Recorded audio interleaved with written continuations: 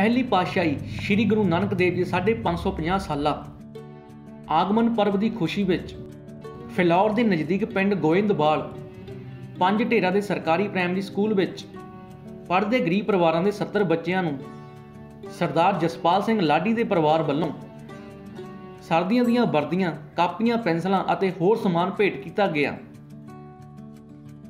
ਇਸ ਮੌਕੇ ਸਰਦਾਰ ਲਖਬੀਰ ਸਿੰਘ ਲੱਖਾ, ਸਰਦਾਰ ਮੁਖਤਿਆਰ ਸਿੰਘ ਸਰਦਾਰ ਨਿਰਮਲ ਸਿੰਘ ਅਤੇ ਸਕੂਲ ਦਾ ਸਮੂਹ ਸਟਾਫ ਮੌਜੂਦ ਰਿਹਾ।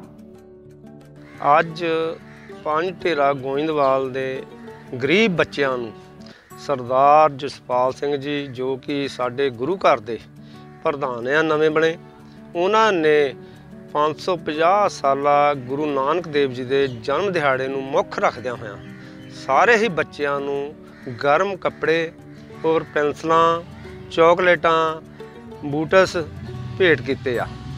ਅਸੀਂ ਇਸ ਮੌਕੇ ਤੇ ਜਸਪਾਲ ਸਿੰਘ ਜੀ ਦਾ ਤਹਿ ਦਿਲੋਂ ਸਾਰੇ ਪਿੰਡ ਵਾਲੇ ਧੰਨਵਾਦ ਕਰਦੇ ਹਾਂ।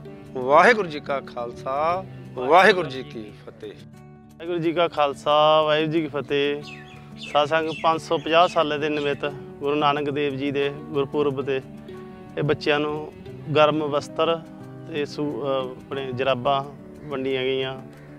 ਦੇ ਨਿਮਿਤ ਮਹਾਰਾਜ ਇਸੇ ਤਰ੍ਹਾਂ ਕਿਰਪਾ ਰੱਖੇ ਪੂਰੇ ਪਰਿਵਾਰ ਵੱਲੋਂ ਇਹ ਸੇਵਾ ਕੀਤੀ ਗਈ ਹੈ C1 ਨਿਊਜ਼ ਦੇ ਲਈ ਫਿਲੌਰ ਤੋਂ ਪ੍ਰਭਪਾਲ ਦੀ report